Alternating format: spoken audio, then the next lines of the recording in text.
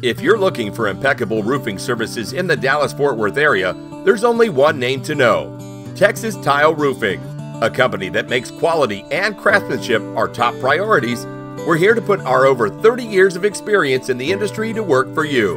To date, we have provided expert roofing services to over 3,000 homes, and we take pride in offering expert knowledge and workmanship in the installation of various types of roof coverings and roofing products.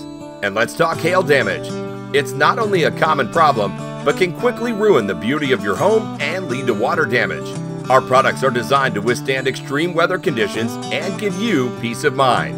Whether you're wanting clay, real slate, metal, imitation slate, copper, or concrete, we have it. Let Texas Tile Roofing be there for you.